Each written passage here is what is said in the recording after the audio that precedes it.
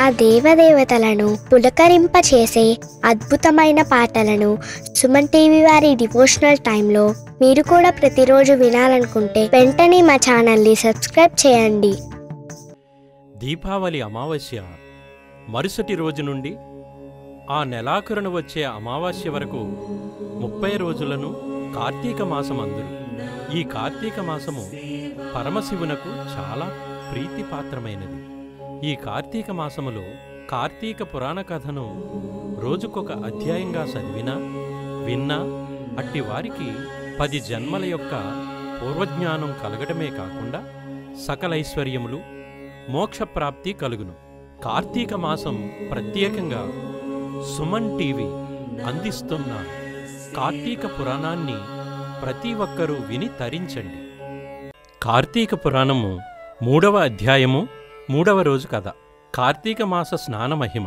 జనక మహారాజా కార్తీక మాసమున ఏ ఒక్క చిన్న దానము చేసినను అది గొప్ప ప్రభావం గలదై వారికి సకలైశ్వర్యములు కలుగుటయే కాక మరణానంతరము వారు శివ సాన్నిధ్యమును చేరుదురు. కాని కొంతమంది అస్థిరములైన భోగభాగ్యములు విడువలేక కార్తీక స్నానములు చేయక అవినీతి పరులై భ్రష్టులై సంచరించి కడకు క్షుద్రజన్మలు అనగా కోడి కుక్క పిల్లిగా జన్మింతురు.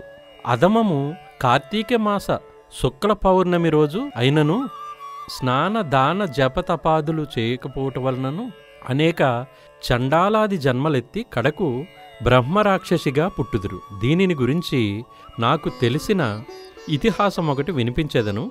సపరివారముగా శ్రద్ధగా ఆలకింపుము. బ్రహ్మరాక్షసులకు ముక్తి కలుగుట.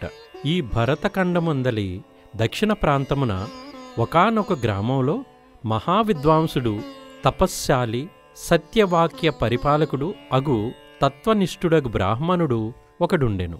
ఒకనాడా బ్రాహ్మణుడు తీర్థయాత్రాసక్తుడై అఖండ గోదావరికి బయలుదేరును.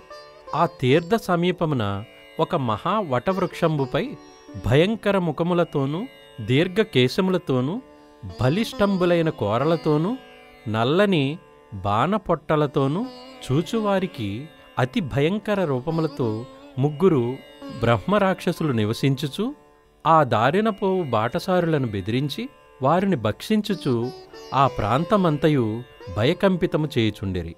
తీర్థయాత్రకై బయలుదేరి అఖండ గోదావరి పుణ్యక్షేత్రమున పితృదేవతలకు పిండ ప్రదానం చేయుటకు వచ్చిచున్న విప్రుడు ఆ వృక్షము చెంతకు చేరుసరికి యథాప్రకారముగా బ్రహ్మరాక్షసులు కిందకు దిగి అతని చంపబోవు సమయమున బ్రాహ్మణుడు ఆ భయంకర రూపములను చూసి గజగజ వణుకుచు ఏమియూ తోచక నారాయణ స్తోత్రమును బిగ్గరగా పఠించుచు ప్రభో ఆర్తత్రాణపరాయణ అనాథరక్షక ఆపదలో నన్ను గజేంద్రుడిని నిండు సభలో అవమానాల పాలగుచున్న మహాసాధ్వి ద్రౌపదిని బాలుడగు ప్రహ్లాదుడిని రక్షించిన విధముగానే ఈ పిచాచముల బారి నుండి నన్ను రక్షించు తండ్రి అని వేడుకొనగా ఆ ప్రార్థనలు విన్న బ్రాహ్మ రాక్షసులకు జ్ఞానోదయం కలిగి మహానుభావ మీ నోటి నుండి వచ్చిన శ్రీమన్నారాయణ స్తుతి విని మాకు జ్ఞానోదయం అయింది మమ్ము రక్షింపుడు అని ప్రాధేయపడిరి. వారి మాటలకు విప్రుడు ధైర్యం తెచ్చుకొని ఓయి మీరెవరు? ఎందులకు మీకీ రాక్షస రూపంబులు కలిగెను? మీ వృత్తాంతము తెలుపుడు అని పలుకగా వారు విప్రపుంగవ మీరు పూజ్యులు ధర్మాత్ములు వ్రతనిష్ఠాపరులు మీ దర్శన భాగ్యం వలన మాకు పూర్వజన్మందలి కొంత జ్ఞానము కలిగినది. ఇక నుండి మీకు మా వలన ఏ ఆపదా కలుగదు అని అభయమిచ్చరి. అందొక బ్రహ్మరాక్షసుడు తన వృత్తాంతమును ఈ విధముగా చెప్పసాగాను. నాది ద్రావిడ దేశం బ్రాహ్మణుడను. నేను మహాపండితుడునని గర్వము గలవాడినయుంటిని న్యాయాన్యాయ విచక్షణలు మాని పశువు వలె ప్రవర్తించితిని. బాటసారుల వద్ద అమాయకపు గ్రామస్తుల వద్ద దౌర్జన్యంగా ధనం లాక్కొంచు దుర్వ్యసనాలతో భార్యాపుత్రాదులను సుఖపెట్టక పండితులను అవమానపరచుచు లబ్ధుడనై లోకకంటకుడిగా నుంటిని.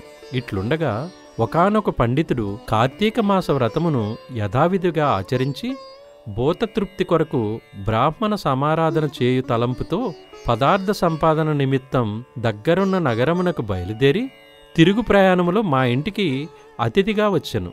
వచ్చిన పండితుని నేను దూషించి కొట్టి అతని వద్దనున్న ధనము వస్తువులను తీసుకుని ఇంటి నుండి గెంటి వైచితిని. అందులక విప్రునకు కోపం వచ్చి ఓరి నీచుడా అన్యాక్రాంతముగా డబ్బు కూడపెట్టినది చాలక మంచి చెడ్డలు తెలియక తోటి బ్రాహ్మణుడని కూడా ఆలోచించక కొట్టి తిట్టి వస్తు సామాగ్రిని దోచుకుంటివిగాన నీవు రాక్షసుడవై నరభక్షకుడిగా నిర్మానుష్య ప్రదేశంలో నుందువుగాక అని శపించుటచే నాకు ఈ రాక్షస రూపం కలిగినది. బ్రహ్మాస్త్రమునైనా తప్పించుకోవచ్చునేమో కాని బ్రాహ్మణ శాపము నుండి తప్పించుకోలేము కదా. కాన ఆ అపరాధమును క్షమింపుమని వానిని ప్రార్థించితిని అందులకాతడు దయతలిచి ఓయి గోదావరి క్షేత్రమందొక వటవృక్షము కలదు. నీవందు నివసించుచు ఏ బ్రాహ్మణుడు కార్తీక వ్రతమాచరించి పుణ్యఫలమును సంపాదించి ఉండునో ఆ బ్రాహ్మణుని వలన పునర్జన్మ పొందుదువుగాక అని వెడలిపోయాను. ఆనాటి నుండి నేనీ రాక్షస రూపమున నరభక్షణము చేయుచుంటిని. కాన ఓ విప్రోత్తమ నన్ను నా కుటుంబం వారిని రక్షింపుము అని మొదటి రాక్షసుడు తన వృత్తాంతమును చెప్పాను. ఇక రెండవ రాక్షసుడు ఓ ద్విజోత్తమ నేను కూడా పూర్వజన్మలో బ్రాహ్మణుడనే. నేను నీచుల సహవాసము చేసి తల్లిదండ్రులను బాధించి వారికి తిండి పెట్టక మార్చి అన్నమో రామచంద్ర అనునట్లు చేసి వారి ఎదుటనే నా భార్యాబిడ్డలతో పంచభక్ష పరమాన్నములతో భుజించుచుండెడివాడును. నేను ఎట్టి దానధర్మములు చేసి ఎరుగను. నా బంధువులను కూడా హింసించి వారి ధనమును అపహరించి రాక్షసుని వలె ప్రవర్తించి తిని కాన నాకీ రాక్షసత్వము కలిగెను. నన్నీ పాప పంకిముల నుండి ఉద్ధరింపుము అని బ్రాహ్మణుని పాదములపై పడి పరిపరి విధముల వేడుకొనెను. మూడవ రాక్షసుడు కూడా తన వృత్తాంతమును ఇటులా తెలియజేశాను మహాశయ నేనొక సంపన్న కుటుంబంలో పుట్టిన బ్రాహ్మణుడను. నేను విష్ణు ఆలయంలో అర్చకునిగా నుంటిని. స్నానమైనను చేయక కట్టుబట్టలతో దేవాలయంలో తిరుగుచుండెడివాడను. భగవంతునికి ధూపదీప దైవేద్యములనైనను అర్పించక భక్తులు కొని తెచ్చిన సంభారములను నా ఉంపిడిగత్తుకు అందజేయుచు మద్య మాంసములను సేవించుచు పాపకార్యములు చేసినందుకు నా మరణానంతరము ఈ రూపమును ధరించితిని కావున నన్ను కూడా పాప విముక్తుని కావింపుము అని ప్రార్థించెను. ఓ జనక మహారాజా తపోనిష్ఠుడగు విప్రుడు పిశాచముల దీనాలాపనము ఆలకించి ఓ బ్రహ్మరాక్షసులారా భయపడకుడు. మీరు పూర్వజన్మలో చేసిన ఘోరకృత్యంబు వల్ల మీకు ఈ రూపములు కలిగెను.